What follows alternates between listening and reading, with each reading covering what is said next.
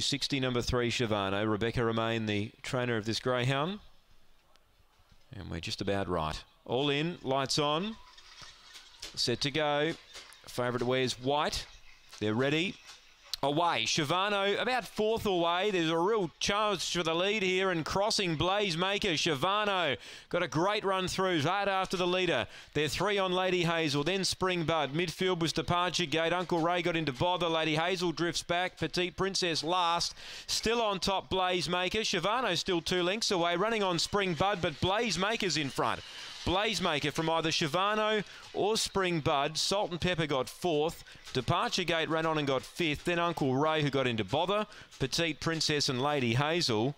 And the winner, Blazemaker for Don Gordon at $48, if you don't mind. Number seven, Blazemaker for Don Gordon. A last start winner has uh, uh, set a few of the putters here and a few quaddy players too, mind you.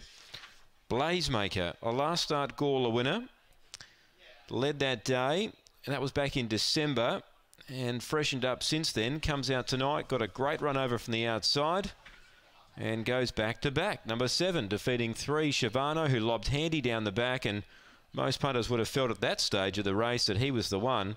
He was tracking one of the outsiders of the field, and in the end, he couldn't pick, uh, pick her up. Number two, third, Spring Bud. Four is fourth, and that is Salt and Pepper. 7 3 2 and 4 take note 7 3 2 and 4 2309 the time. Upwards of $48 on the UTAB good luck if you found it. 7 3 2 4 on the 5th